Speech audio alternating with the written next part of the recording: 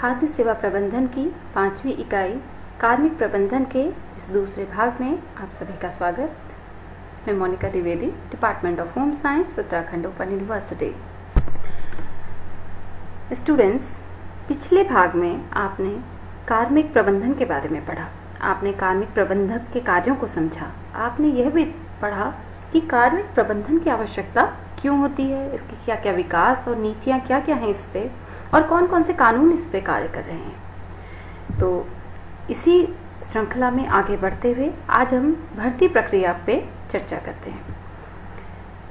भर्ती प्रक्रिया जैसा कि नाम से ही आपको पता लग रहा है, ज़ाहिर हो रहा है कि भर्ती प्रक्रिया अर्थात नियुक्ता जो है वो वर्कर्स की नियुक्तियाँ करता है। अर्थात वो अपने यहाँ की रिक्त स्थानों को भरने के लिए या फिर आवश्यकता के अनुसार जो भी उसकी जहाँ पे आवश्यकता है, वहाँ पे वर्कर्स को नियुक्त करता है।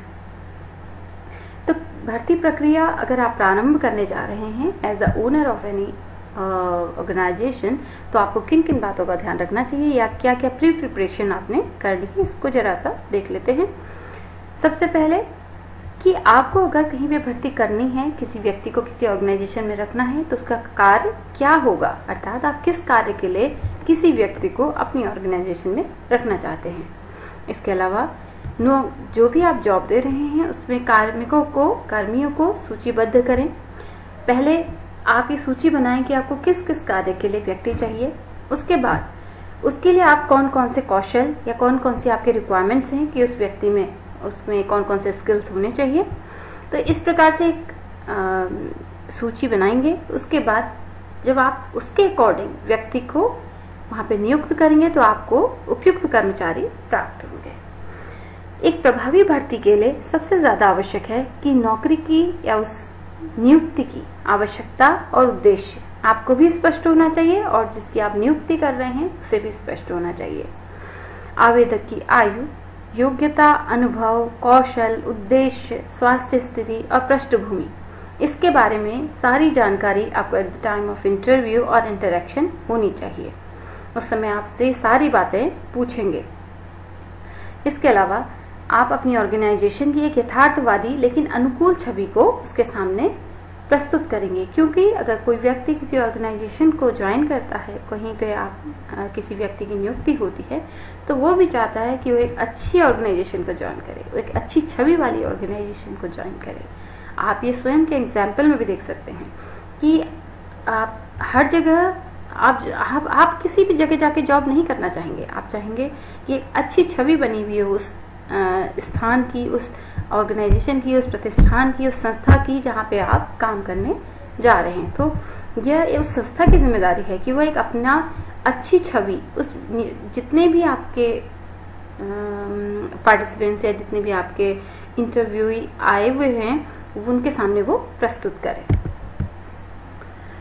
अब अब ये तो एक कॉमन बात थी कि किसी भी संस्था में नियुक्ति होगी। अब हम खाद्य, क्योंकि हम खाद्य सेवा के बारे में पढ़ रहे हैं, खाद्य सेवा इकाइयों का अध्ययन कर रहे हैं तो हम खाद्य सेवा प्रतिष्ठानों में कार्मिकों की नियुक्ति किस प्रकार की जानी चाहिए? उसका, इसमें क्या अंतर है? एक नॉर्मल प्रतिष्ठान में, एक नॉर्मल संस्था में और एक खाद्य सेवा प्रतिष्ठान में कार्मिकों की नियुक्ति इसके बारे में समझ लेते हैं।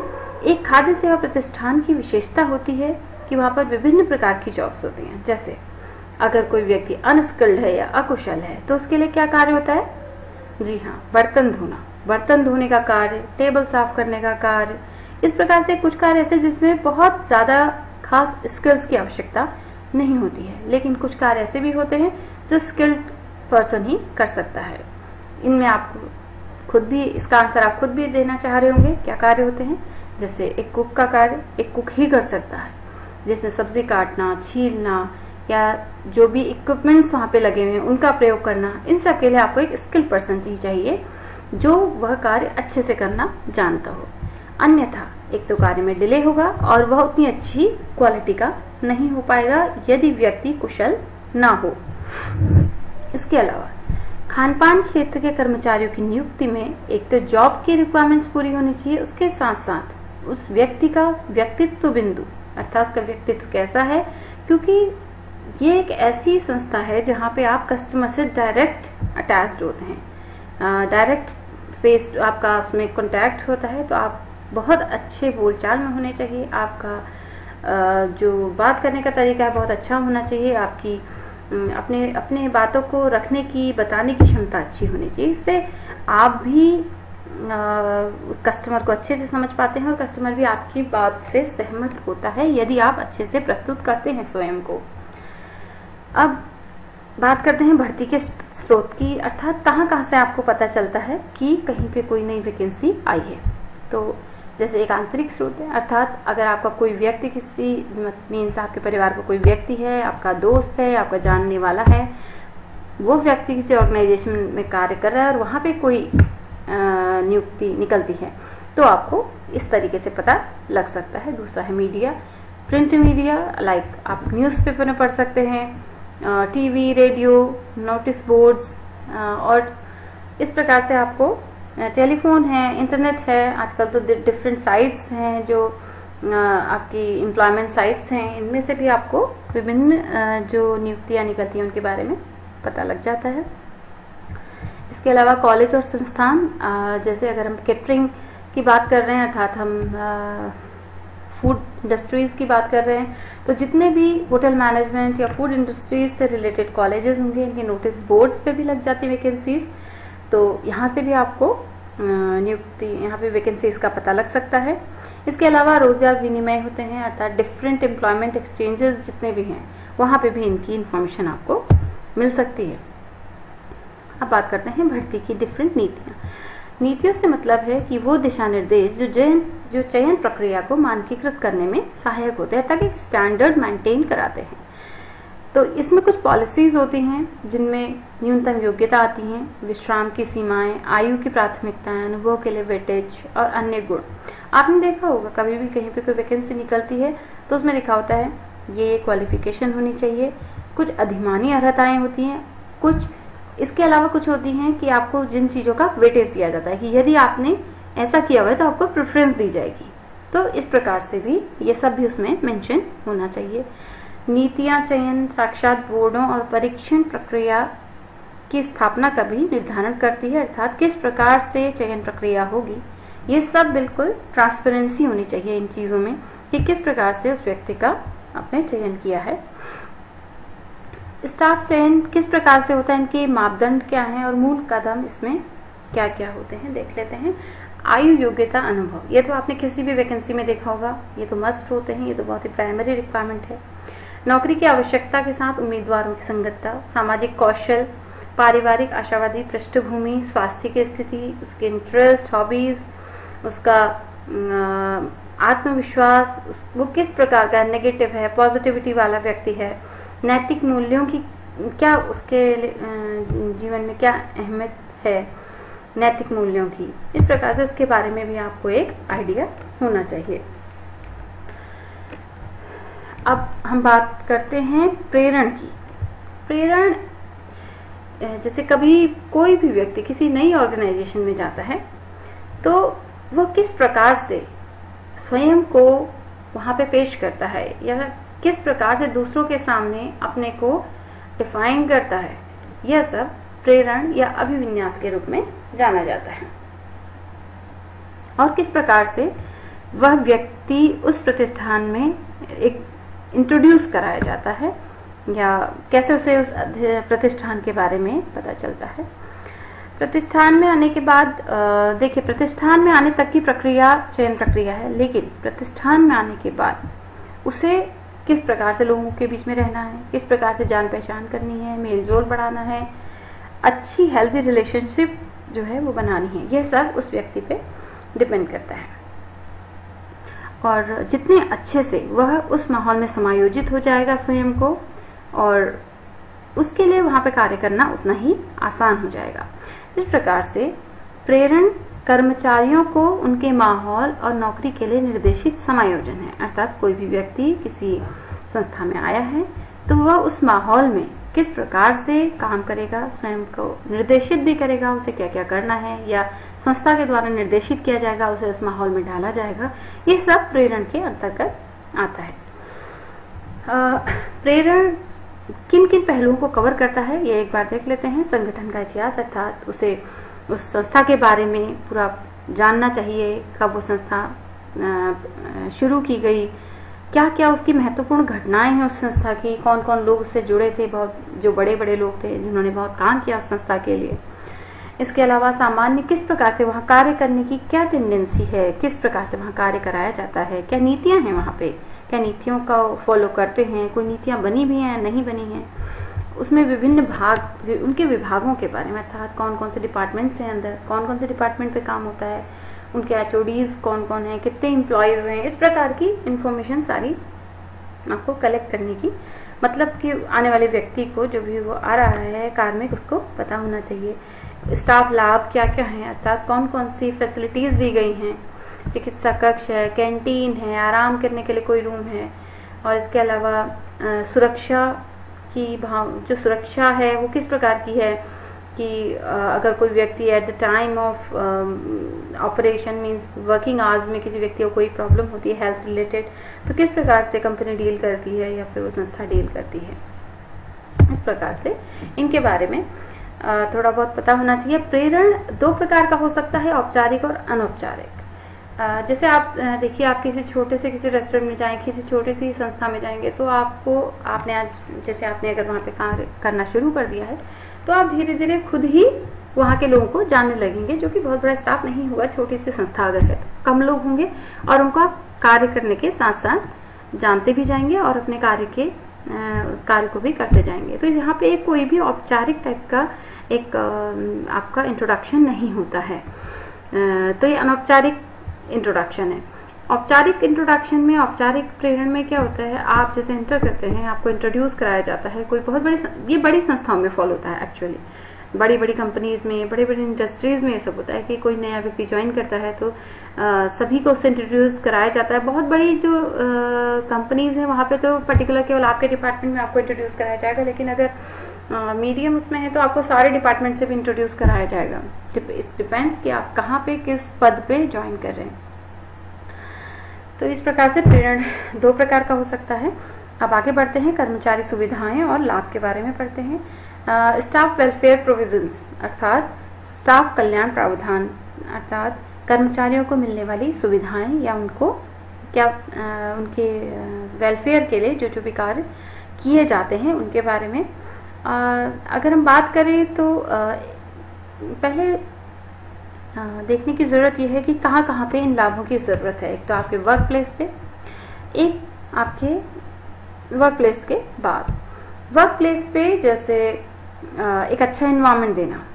अच्छा इन्वायरमेंट मतलब बहुत गर्म ना हो ठीक ठाक वहाँ पे अच्छा सा माहौल हो, शोरगुल ना होता हो, और अच्छा हेल्दी वातावरण हो, स्वच्छ वातावरण हो, शौचालय की सुविधाएँ हों वहाँ पे, जहाँ पे कार्यस्थल पे आपके और जो भी आपके चेयर टेबल्स जो भी आपको उन्होंने अगर कंप्यूटर दिया है, वो अच्छा हो, पुरानी उसका ना हो, नई टेक्नोलॉजी का हो तो इस प्रकार से ये सुविधाएँ कार्यस्थल पे आवश्यक होती हैं।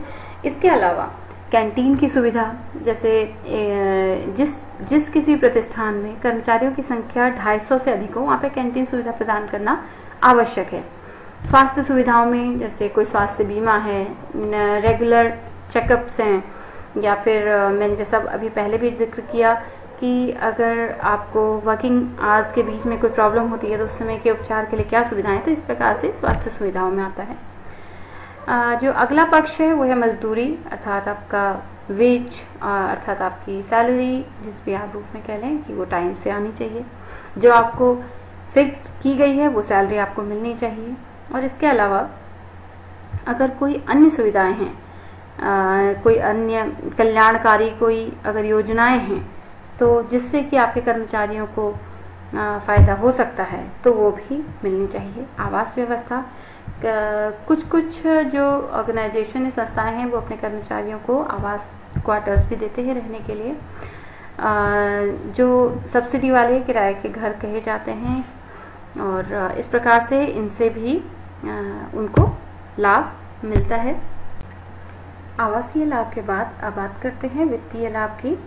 वित्तीय लाभ का अर्थ है कि अदर देन सैलरी जो उनको सैलरी फिक्स्ड है, उसके अलावा भी अगर कंपनी या कोई संस्था उनको कोई मदद करती है, जैसे कि कुछ जीवन बीमा पेंशन या क्रेडिट सुविधा, इसके, इस इसके द्वारा वो अपनी फैमिली की मदद कर सकते हैं और जिससे कि उनमें पारिवारिक सुरक्षा की भावना भी विकसित होती है। इसके अलावा गैर वित्तीय प्रोत्साहन, अर्थात जिसमें उनको वित्तीय लाभ ना हो, लेकिन प्रोत्साहन मिले।